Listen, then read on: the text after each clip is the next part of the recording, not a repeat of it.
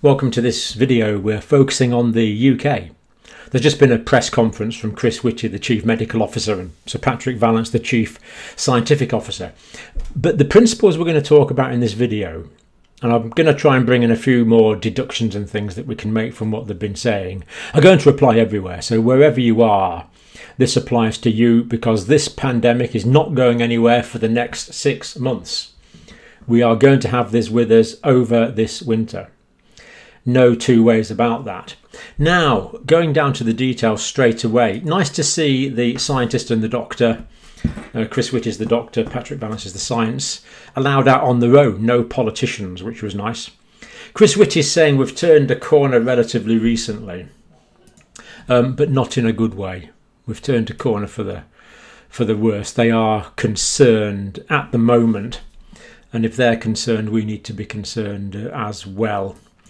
Um, full press conference available here, government slides available here, transcript uh, available there. Uh, when I came on air just now, uh, the transcript wasn't uh, wasn't printed yet, so someone will be frantically typing up as as we speak. Now, this is so important. I always put these in because these are the references. This shows I'm not making all this up you know you get so many people doing lessons on media and mainstream media social media saying all sorts of stuff but they don't back it up with any evidence you know. Don't believe what i say unless there's some evidence to go with it and that's the evidence. Check it all out for yourself. Um, and hopefully I'll, I'll, accurately relate what is there. Now um, uh, patrick vallance kicked off. He started off confirming that this is, infection is spread by droplets, aerosols, and surface contacts. Now, that sounds fairly obvious now, but I remember the World Health Organization umming and ahhing about this for months when it was obvious, to me certainly, that it was an aerosolized virus. The World Health Organization was saying it wasn't. Anyway, we've got rid of that initial debate now. Pity it took a few months, but we are there. This is how that virus is spread.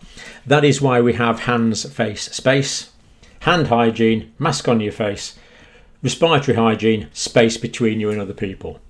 Really very, very simple. But quite hard to do, perhaps.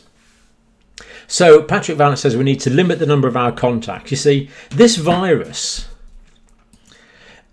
you know, a good way to look at viruses, people are always asking me, are viruses dead or alive? And the answer is both. I believe outside of a living cell, they're dead. They're just chemicals. But when they get into a living cell, they come alive and they reproduce and they use energy from the cell. Um, they're only alive inside the cell. So they can only reproduce inside living cells, and in this case, virtually always only human cells. So if we can stop the virus going from person to person, then this pandemic's finished. It's all about interpersonal transfer.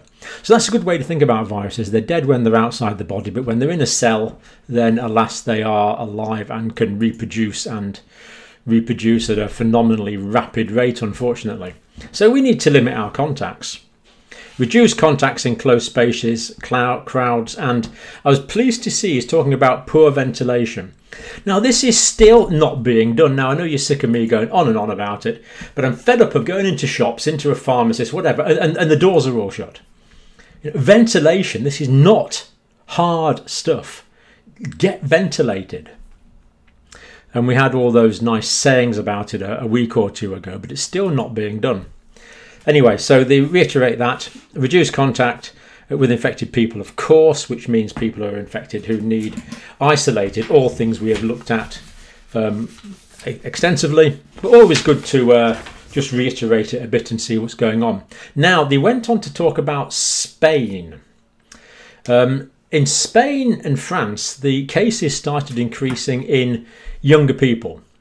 So there was some in, infection spreading in younger people through summer.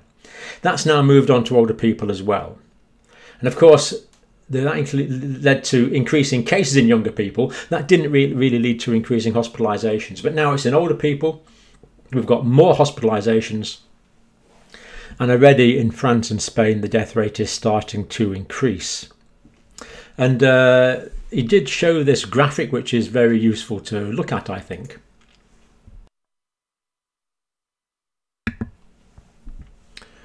So what we're seeing here is this is the increase in cases in Spain and in France. July, August, September. And we see a lag, but now we are starting to see increases in deaths in France and increases in deaths in Spain. And this is the lag we are well used to seeing. But what uh, the Chief Scientific Officer is saying here is he doesn't want the UK to follow in the footsteps of France and Spain in regards to these uh, increasing numbers that we are unfortunately seeing in these countries, now leading through into uh, increased deaths. Now, there's been a lot of discussion about this. Surely this virus is less virulent than it used to be.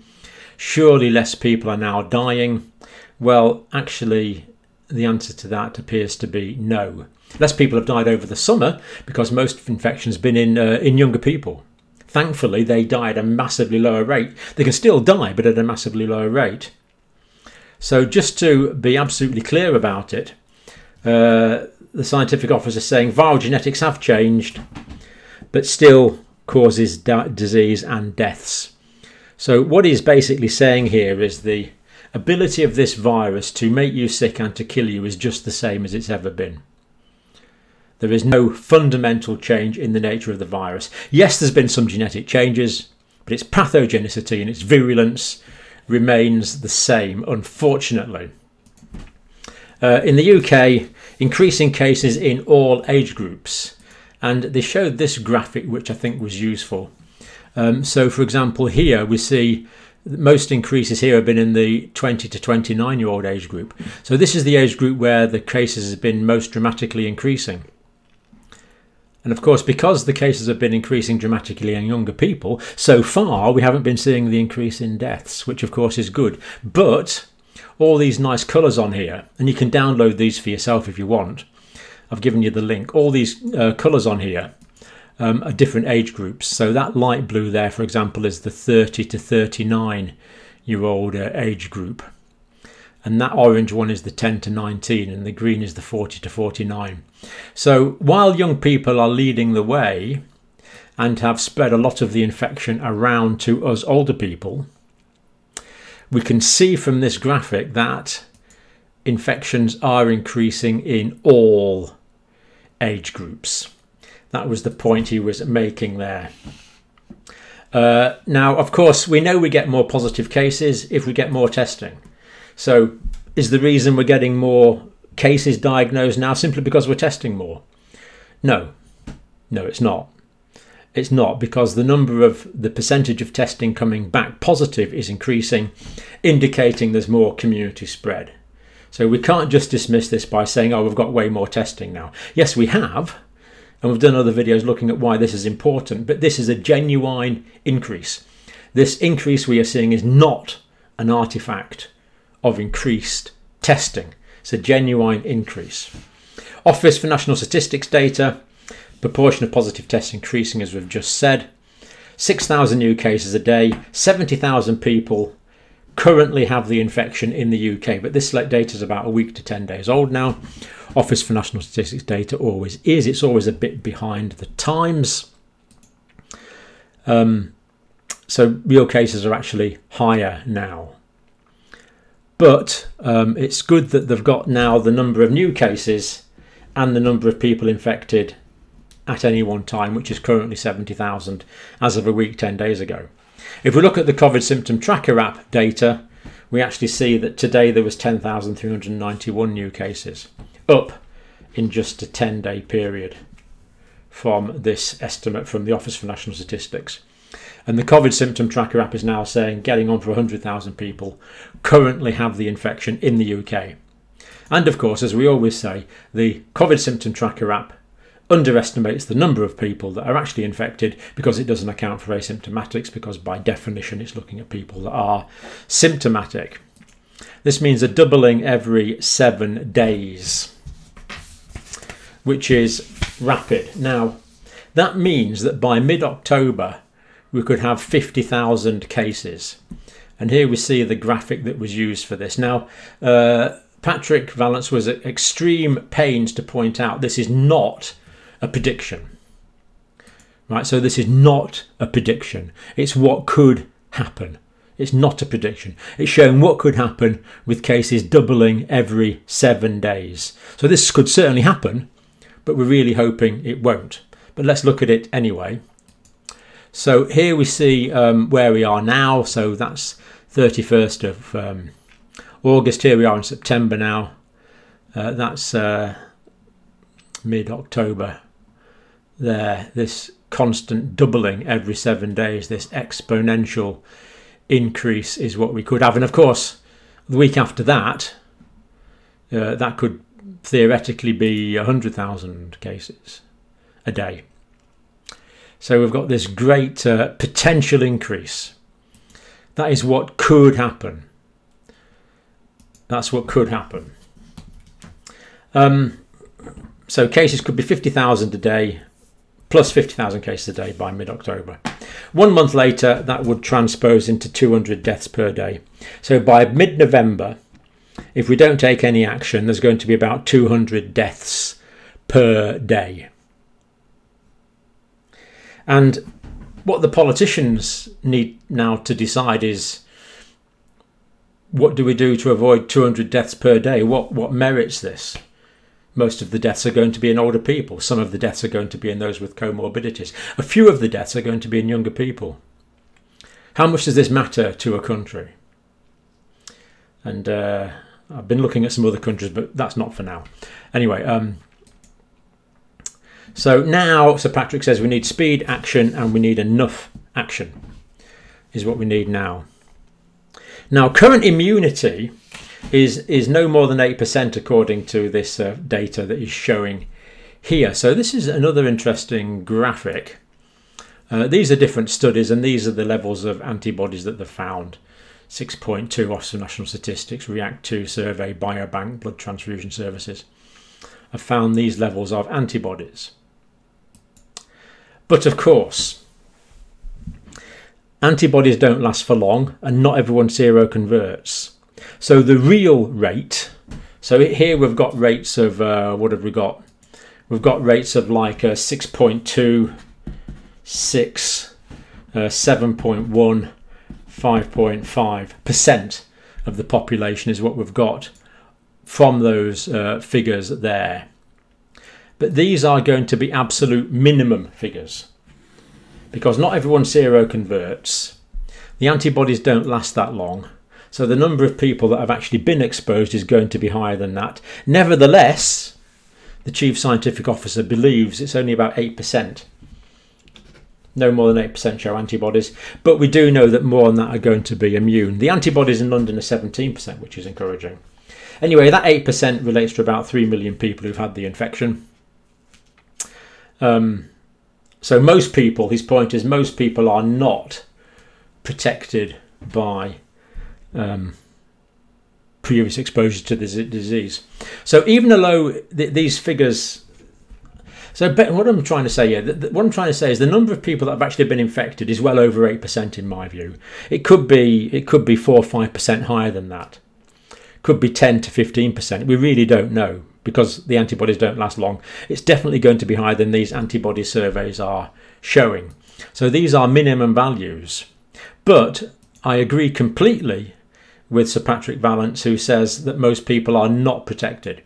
So we could argue whether this is 8% or 15%. In a sense, it doesn't make too much difference because it's not enough to get herd immunity. So most people are not protected. Most people can still be infected by this virus. Having looked at that, having said that, we, we have seen quite a bit of cross immunity. So again, these are the most pessimistic scenarios, really.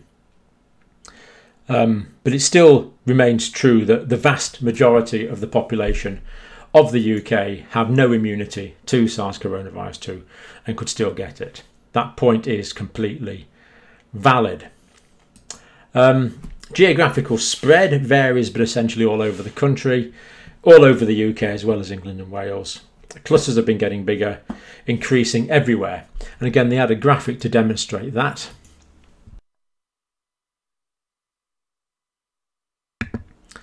Yep, we see it here. So the, the, basically the darker colours are more cases. So you can go onto the government websites and browse your own area. Now this doesn't contain Scotland, but cases are increasing in Scotland as well.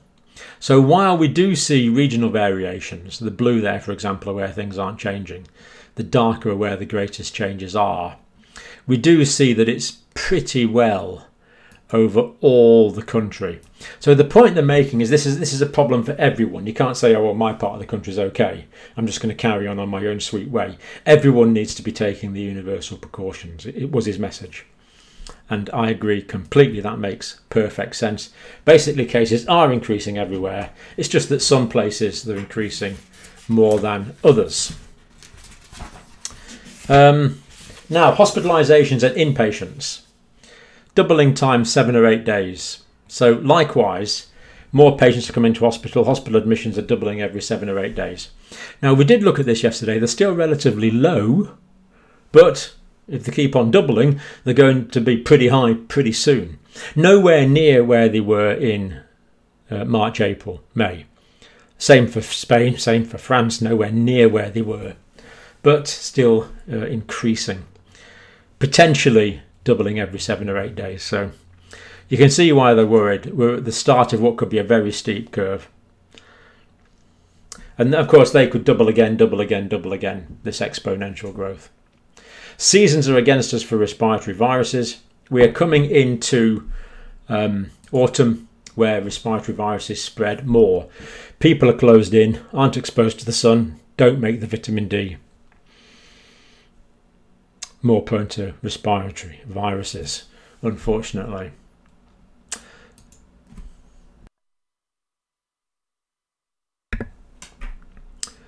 There I am. Um, now, um, basically, this is saying this is going to be a problem for the next six months, but it's everyone's problem. It is for six months. Now, my view is that this virus is going to go away and the next six months are going to be the worst. I don't think the virus will go away in a season or two. It might take a couple of seasons to go away, but I still believe it's going to go away. But this next six months is going to be a difficult time. Uh, with for uh, about that, there is no doubt, uh, unfortunately.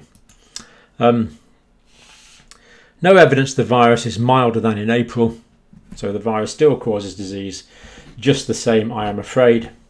Just as transmissible mortality will be similar to what we have seen, slightly lower because the treatments are slightly better now. But we still have no magic bullet treatment.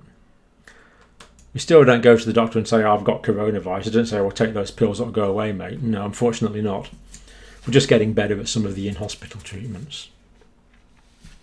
Now, what would high numbers uh, mean? Oh, I got another slide. Oh yeah, there was a slide there. Just a minute, let me show you that. Um, there we go. Now, these are estimated new COVID 19 inpatient cases in hospital. So, as of now, we can see that the number of COVID patients is rising, with the daily admissions quite a lot higher. Now, this is okay. The health service can easily cope, well, certainly cope with these numbers. But of course, if they start doubling then that becomes a problem. So it's kind of a warning of what could come about. Right. Um, which screen am I at? Yep, that's right. High numbers would mean. What's the problem? Why, why are we worried about this? Well, more people will die from COVID 19. NHS could be overwhelmed other pathologies not being treated, diagnosed early. And when I say other pathologies, what I mean by other pathologies is people who are sick, people who are in pain, people who are distressed would find treatment more difficult to get. That's what it means. That's why we're concerned. Uh, health, uh, health effects of restrictions are a problem.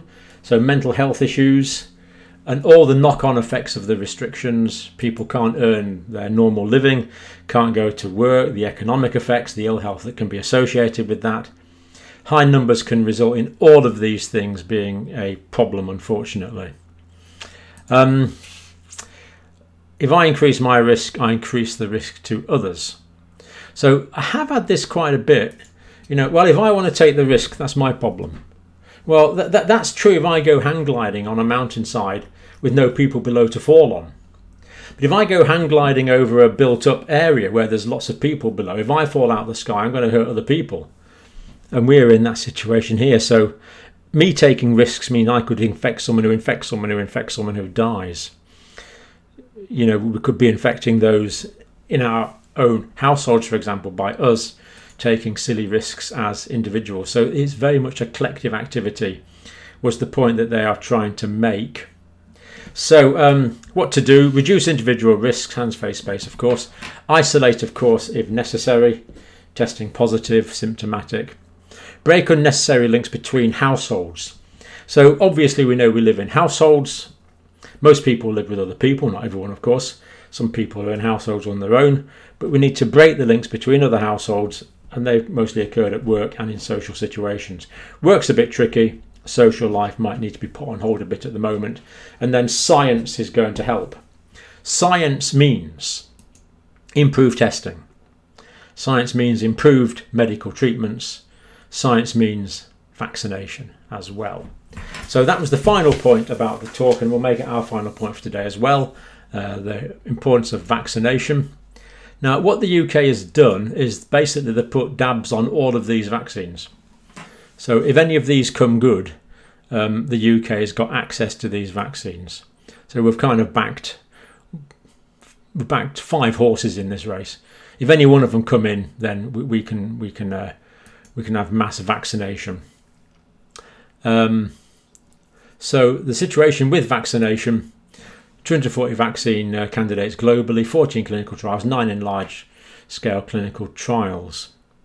And to alleviate our guilt at putting dabs on all these uh, all these vaccines um, that we've basically put pre-orders on in, uh, we do note here, which I am pleased to see, UK is also committed to joining COVAX, an international initiative supporting discovery, manufacture, and fair distribution of COVID 19 vaccines worldwide. But if any of these come good, um, the UK can get them straight away. And other rich countries have done the same. The United States has done exactly the same. It's backed about half a dozen vaccine horses as well. Any of them come good, then many people will be vaccinated. But it's going to be mostly in 2021. A few people could be vaccinated in 2020, but for vast majority of us, vaccine is not going to come till 2021. So that's where we are at at the moment in the uh, in the UK. I think what I'll do is I'll just go back to what I think is the most profound slide. That one indicating what could happen without appropriate action. Now, we don't want to have massive shutdowns, and this is true anywhere. So we all have to follow the precautions that we all know about now, and we all have to take part for the next six months. After that, science will probably come to rescue us. I do believe it will, especially in the vaccines. I'm not too optimistic about therapeutics. Um, some might come good, um, but I'm not too optimistic that there'll be any cheap ones readily available uh, anytime soon.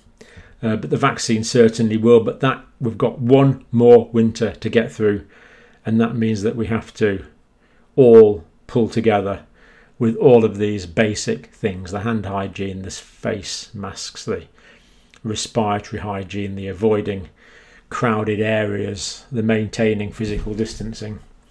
Well, you know all this. I'm not going to keep going over it. But uh, there's one thing knowing it, and of course, there's something else doing it. So we need to walk the walk as well as talk the talk. Thank you for watching as uh, as always.